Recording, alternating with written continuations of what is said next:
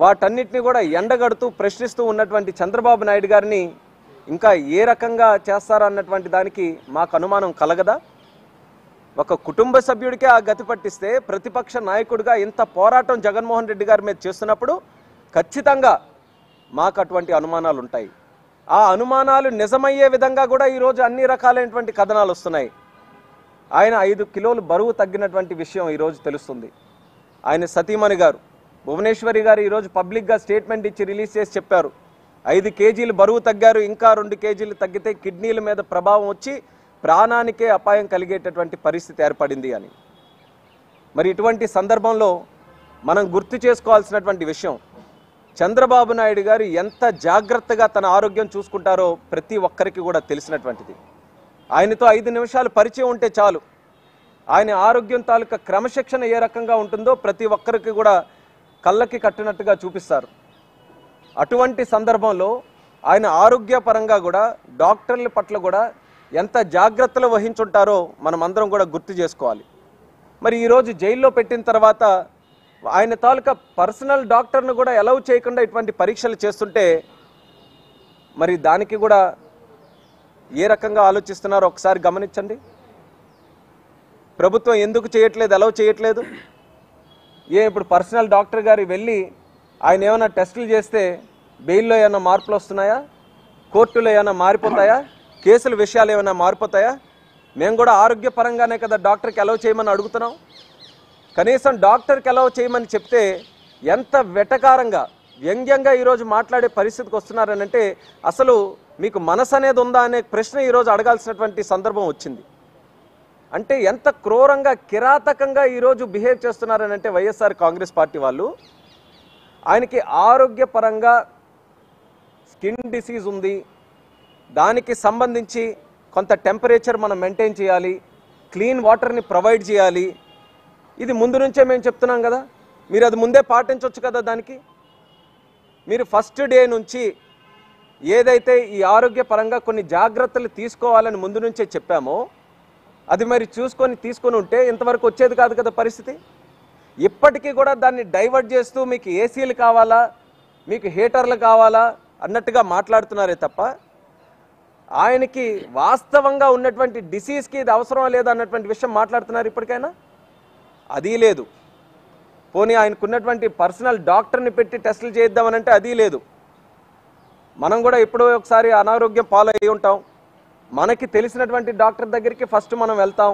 ఎందుకనంటే గతంలో వెళ్ళినటువంటి చరిత్ర అంతా కూడా ఆయనకి తెలుసు కాబట్టి ఈరోజు మనకి ఏదైనా ఒక జబ్బు వస్తే దానికి కూడా ప్రీవియస్ హిస్టరీని అంతటిని కూడా జోడించుకొని దానికి తగ్గట్టుగా మందులు ఇస్తాడని ఒక నమ్మకం మనకుంటుంది. మరి ఆ రకంగా ఈరోజు ఆయనకి స్కిన్ డిసీజ్ వచ్చిందని కూడా ఈరోజు జైలు వాళ్ళే చెప్తున్నారు. డిహైడ్రేషన్ అయ్యిందని కూడా వాళ్ళు జైలు వాళ్ళు చెప్తున్నారు. మరి దానికి ఏదైనా సరే మీరు ట్రీట్మెంట్ ఇస్తున్నప్పుడు కనీస బాధ్యత కింద ఆయనకున్నటువంటి డాక్టర్లు సంప్రదించాలా లేదా? ఈ విషయం అంత పరిపూర్ణమైనటువంటి జ్ఞానం కలిగినటువంటి సజ్జల గారు చెప్పాలి ఈరోజు. ఎందుకంటే ఏ విషయం అయినా సరే ఆయనే డాక్టరు ఆయనే లాయరు ఆయనే గవర్నరు ఆయనే ప్రధానమంత్రి ఆయనే హోంమంత్రి ఆయనే అన్నీ కూడా సర్వజ్ఞాని. ఏ విషయం వచ్చినా సరే వెంటనే ఆయన చెప్పింది వేదంలాగా ప్రతి ఒక్క దాని మీద కూడా ప్రెస్ మీట్ మీద చెప్తుంటారు. మరి ఈ విషయంలో స్పష్టంగా మేము అడుగుతున్నాం. మీరు చంద్రబాబు నాయుడు గారు ఆ రోజు బయట తిరుగుతున్నప్పుడే రాళ్ళేసి మీరు హర్ట్ చేయాలని చూశారు ఆ రోజు. ఆయన ఆరోగ్యాన్ని దెబ్బతీయాలని చూశారు మీరు ఆ రోజు. ఆయన ఇంటి దగ్గర ఉన్నారనంటే కత్తులు రాళ్ళు కర్రలు పట్టుకొని వెళ్ళి ఇంటి మీద దాడికి దిగారు మీరు. అంటే మా కళ్ళెదుటగా తిరుగుతున్నప్పుడే చంద్రబాబు నాయుడు గారి మీద ఇన్ని రకాలైనటువంటి కార్యక్రమాలు జరిగితే ఈరోజు మాకు తెలియకుండా ఎక్కడో నాలుగు గోడల ముందు ఉన్నటువంటి చంద్రబాబు నాయుడు గారి తాలూకు ఆరోగ్యం పట్ల మేము ఆందోళన చెందుతుంటే మీకు అందరికీ కూడా నవ్వులాటలాగా ఉందా అని ఒకసారి నేను ప్రశ్నిస్తున్నాను. మా డిమాండ్ ఇప్పటికీ కూడా స్పష్టంగా మేము తెలియజేస్తున్నాం. ఆయన తాలూకా ఆరోగ్యం పట్ల సరైనటువంటి జాగ్రత్తలు ప్రభుత్వం తీసుకుంటుందన్నది ప్రజలకి చెప్పదలుచుకుంటే ఆయన తాలూకా డాక్టర్ని పిలిపించి అన్ని వైద్య పరీక్షలు కూడా చేయాలి. అవసరమైతే స్పెషాలిటీ సూపర్ స్పెషాలిటీ హాస్పిటల్కి తీసుకొని వెళ్ళి అడ్మిట్ చేయించి అన్ని పరీక్షలు కూడా చేయించాలని మరొకసారి మా తరపున డిమాండ్ చేస్తున్నాం. ఇప్పుడు మీరు ఆ, అడిగిన వాటికి ప్రభుత్వం స్పందించకపోయినా అది స్పందించట్లేదు. అది మీరు ఇంతకుముందు ఆల్రెడీ ఇన్ఫామ్ చేశారు. ఆ, ఆయన ఇలా పరిస్థితి ఉంటుంది కాబట్టి ఇలా ఇలా అరేంజ్ చేయాలి ఆయనకి. కానీ చేయలేదు కాబట్టి ఇప్పుడు మీరు ప్రభుత్వం చేయలేదు కాబట్టి కోర్టును ఆశ్రయిస్తారా? డెఫినెట్గా దీన్ని కూడా కోర్టులో ప్రస్తావిస్తాం.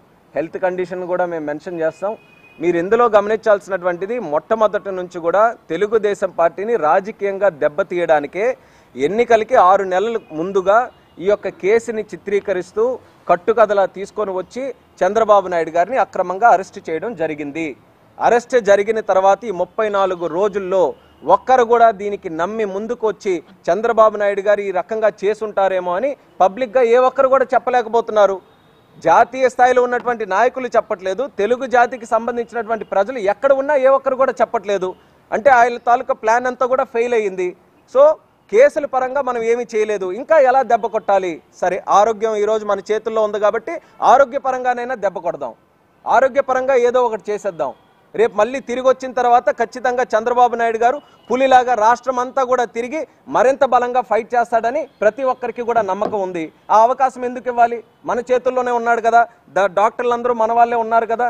వాళ్ళకి వెన్నతో పెట్టినటువంటి విద్య ఈరోజు ప్రభుత్వ వ్యవస్థలు ఏవైతే ఉన్నాయో పోలీస్ వ్యవస్థ కానీ వైద్య వ్యవస్థ కానీ రెవెన్యూ వ్యవస్థ కానీ వాళ్ళు కనుమేరలు ఉన్నటువంటి వ్యవస్థలన్నీ కూడా వాళ్ళు ఒత్తిడి తీసుకొని వచ్చి ఏ రకంగా దాన్ని కట్టుకథలా అల్లించాలో అన్నీ కూడా వెన్నతో పెట్టిన విద్యలా ఈరోజు ఉంది. కాబట్టి డాక్టర్ రిపోర్ట్లు ఆ రకంగా చేస్తున్నారు. ఈరోజు స్టెరాయిడ్స్ కూడా ఇవ్వాలని చూస్తున్నారు. మరి ఇచ్చినప్పుడు ఆయన తాలూకు హిస్టరీ చూడాలి కదా? ఆయన పర్సనల్ హిస్టరీ చూసి పర్సనల్ డాక్టర్తో మాట్లాడి ఏ ఒక్క మందు ఇచ్చినా సరే మెడిసిన్ ఇచ్చినా సరే ఇది